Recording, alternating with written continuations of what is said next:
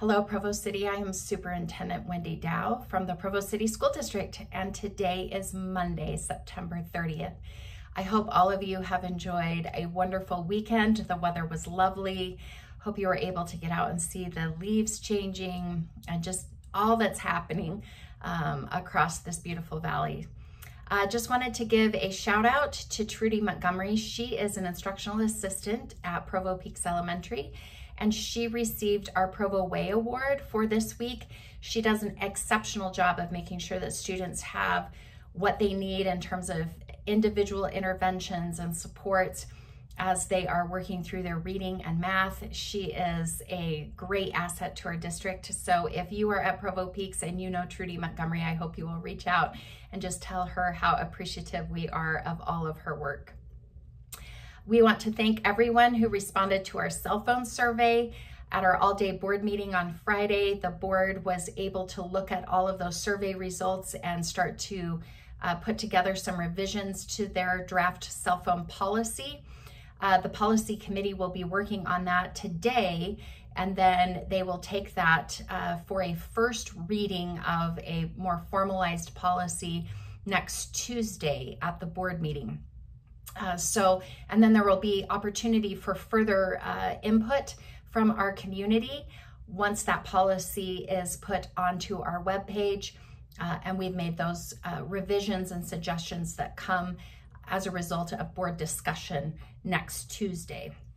But I just want to thank everyone who took the time to fill out comments. It really gave us uh, really just kind of an understanding of where our community is coming from and what they support and how we can better support our students to create really positive learning environments. So I really appreciate those of you that took the time uh, to fill out that survey. At our all-day board meeting last Friday, uh, we did finalize our strategic plan we will be sending out links to what that brochure looks like, as well as a one pager document and a postcard um, so that you're aware of the priorities. Our three top priorities are academic achievement, wellness and safety, and stewardship of resources. There are very specific goals and strategies that are tied to each of those with key performance indicators for each of the goals um, that we will be reporting to the board on uh, periodically throughout the year and then adjusting our action plans based on that.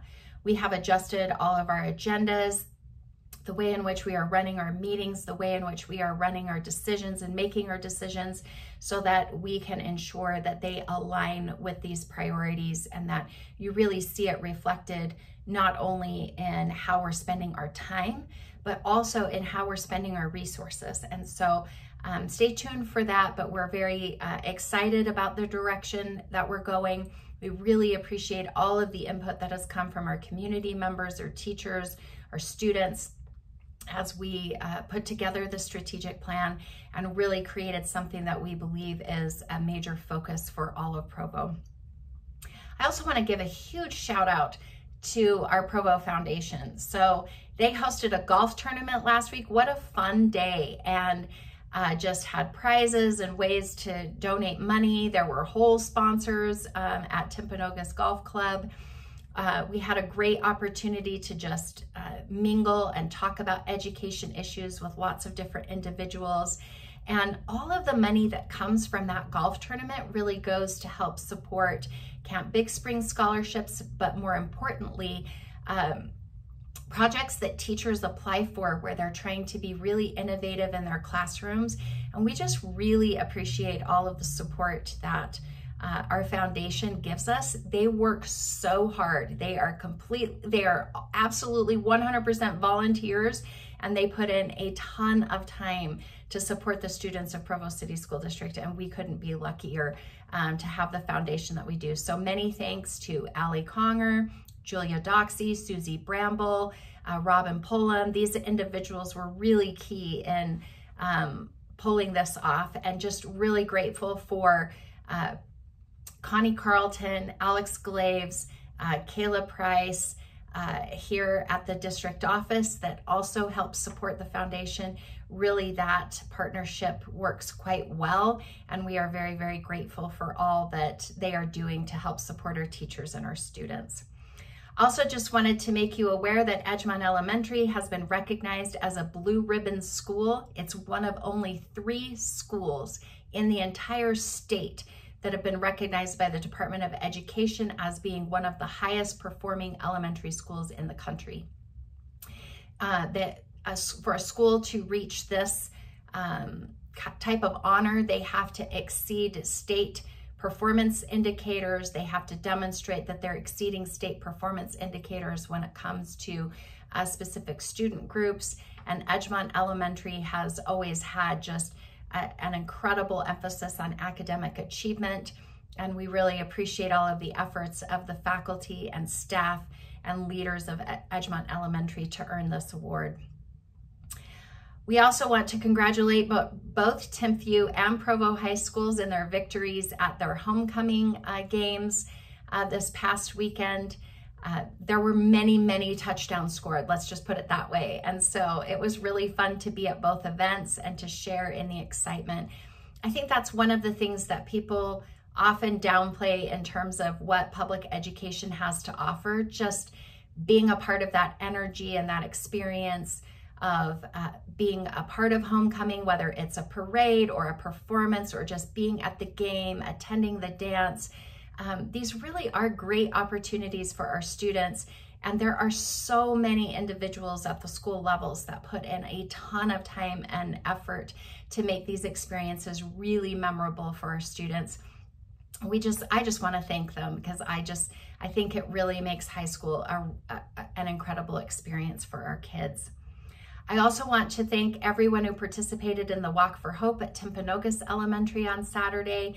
This is about suicide awareness and just drawing attention to the matter so that we can be a lot more preventative in our efforts to uh, make sure that suicide is not an option for any of our students or anyone in our community for that matter and that and that people recognize that there are resources and lots of help available and that we see you and we care about you. And so just want to thank all of those that were part of that event.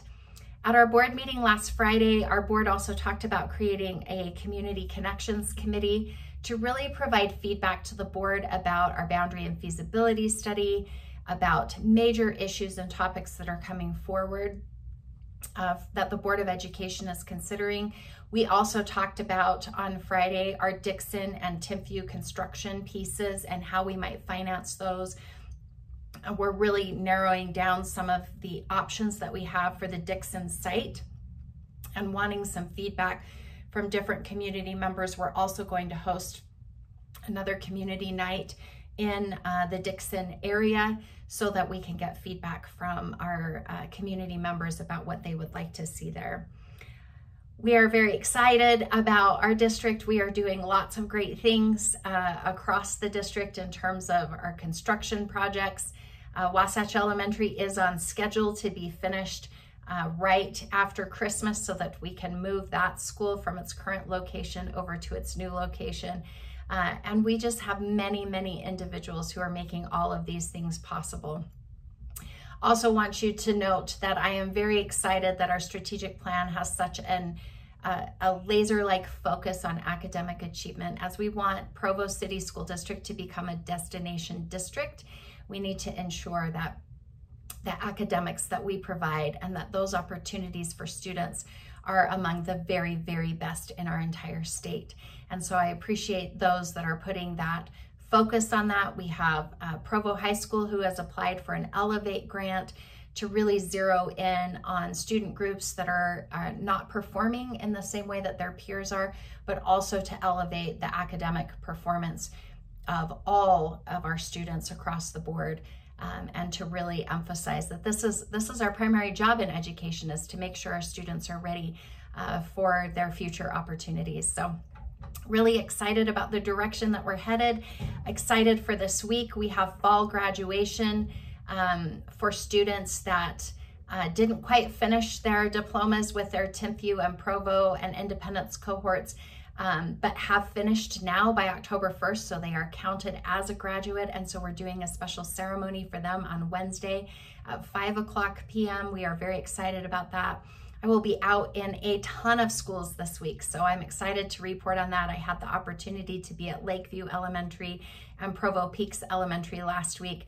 This week, uh, I have a, a bunch more visits and can't wait to report to you on what's taking place in our classrooms across the district. I hope all of you have a fantastic week. Thanks, everybody.